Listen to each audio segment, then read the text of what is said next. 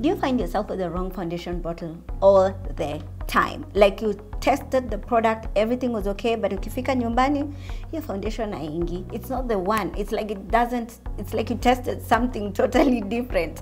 If that is you this is the end of all that. I want to show you how to identify the right shade of your foundation the right way. If you want to find out more keep watching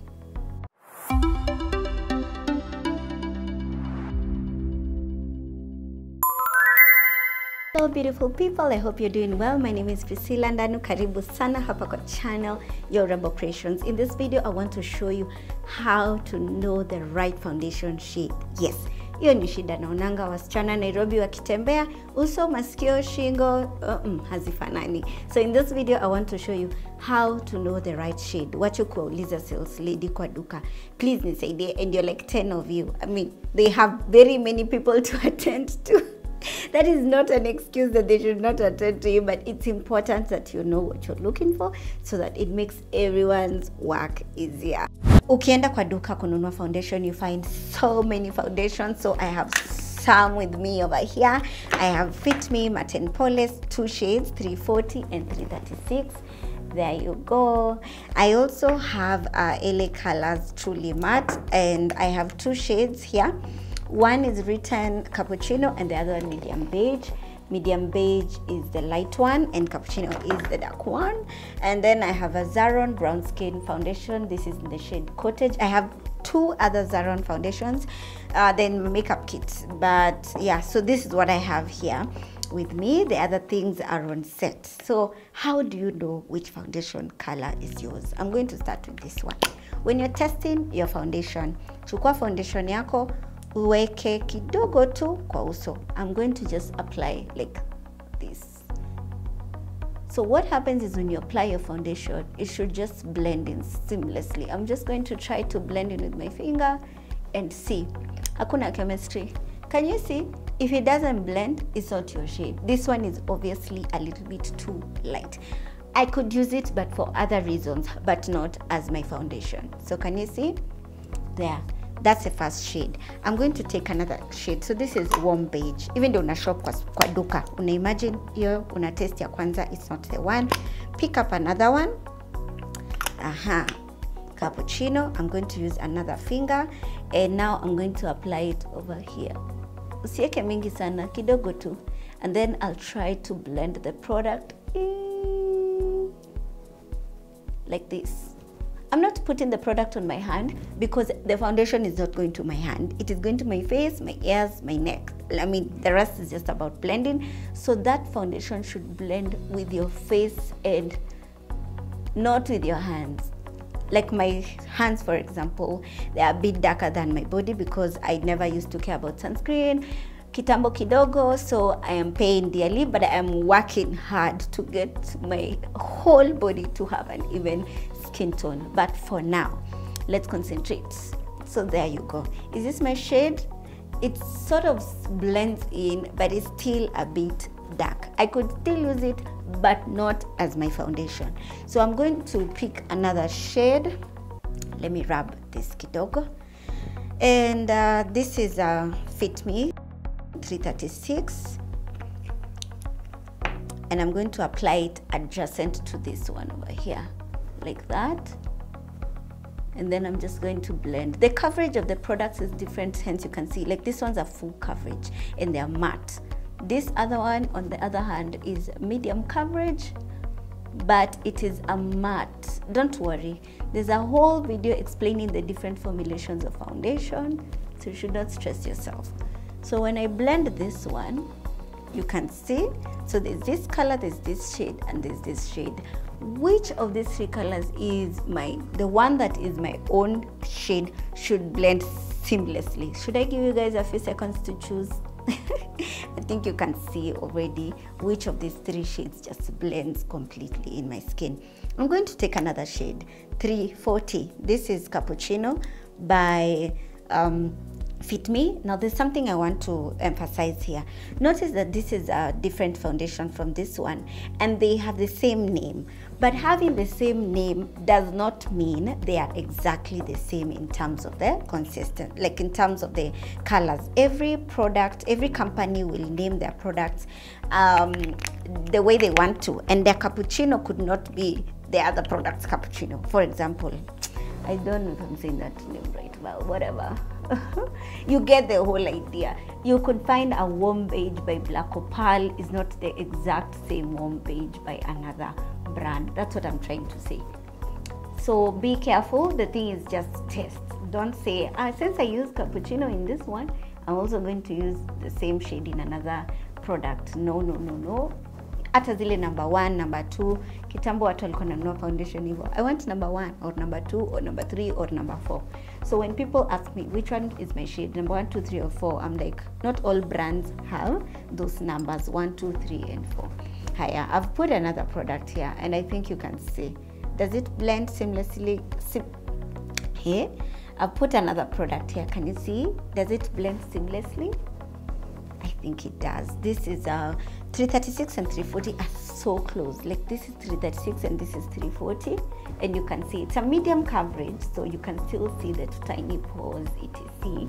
But it blends into the skin like really nicely. I'm now going to put my last shade. When I was buying my uh, brown skin foundations to test them, I bought like three shades because I couldn't really find my actual shade. And even with the three shades that I got, I still did not find my shade. And that happens. It's normal to find that there's no exact shade for you. So what you can do is try to mix up the products. And that's why I have three. I mentioned two are on set.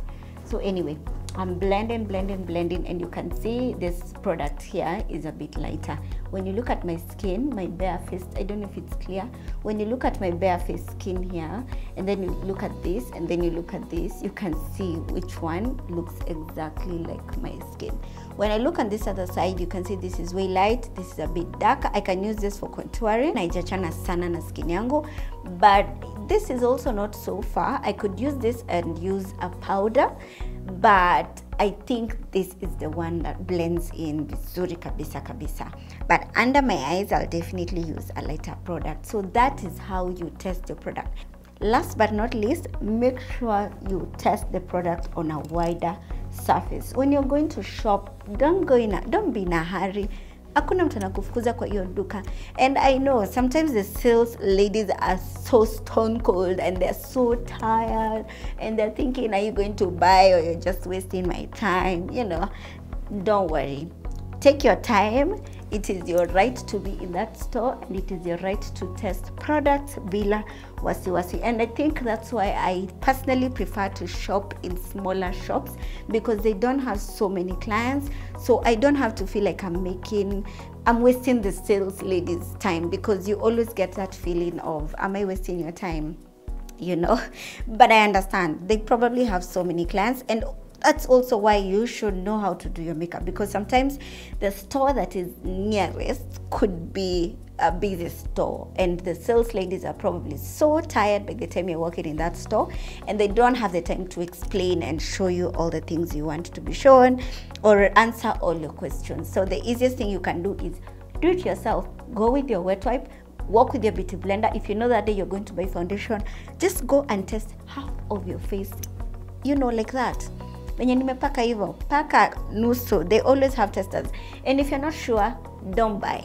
Do not try. And if the lighting condition in that shop is not uh, good it's also a risk. Because if the lighting is not daylight like i'm filming i'm in the in my studio yeah and I have daylight here with me. This is like the light that is outside. So it has, it gives me the true color.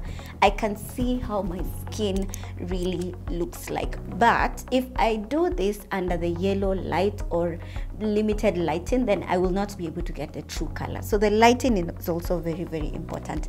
See, Ivo, paka half of your face. See that it blends very well and that it looks just like your complexion and then you can remove it you don't have to do the whole face just a quarter and you're good to go and if you're a sales lady i mean if you sell makeup i really would just ask that you know you be a bit more kind most people don't know what they're doing and they're trying to you know just figure out what works for them. I'm going to pick another shade. Let me use this one so that you can see the difference. If I apply this uh, brown skin on a small portion of my skin, it doesn't look as bad. Let me show you. Like it could blend this i'm doing this so that you can understand why it's important to work on a bigger surface when i put just a small amount you can almost think that it is my right shade but when i use the product on the entire you know my half like the half of my skin so if i blend in like that it still works especially if i'm working under my eyes so i could blend this really nicely but i must use like a darker shade of powder to blend in everything else. So I'm telling you, like as a makeup artist, I know how I can deal with this. It's not going to be much of a problem for anyone. But if you're looking for your own foundation, look for one that blends kabisa kabisa so that you don't have to worry about your face and your neck. Because I, if I if I use this as my shade, then it's not going to blend with my neck and I'm going to be having problems. And like this side, everything is almost the same, but this side it's a bit lighter. I like the consistency, it's really nice. Everything is beautiful, but I can use, as I said, a darker shade. So once I do this comparison and I'm in the store, I just take a mirror and look at my face and see, okay, I see this, I like this and this and this. And I can also see this, I like A, B, C, and D. I love them. In fact, if I was to shop, I would buy the two like this so that I can use this around this area and then use this one over here on every other part of my face if you have an even skin tone like you don't have the same complexion everywhere like a darker forehead a light around you know underneath your eyes etc you would consider buying two foundations. So that you can work with the darker foundation around your entire face like this. And then leave the lighter product for the, the parts that need the, the lighter shade and I made sure that I had my own hair in this video so that you can see. Your foundation should blend seamlessly into the into your hair. Like when you look at your hairline like this and your foundation everything should just be the same. Naona hivyo. Fai kukuwa na kamask chu! Hapa ndio foundation iliishia. Mm, I think I love this. So simple, so pretty. So there you go. That's how you test your foundation shades.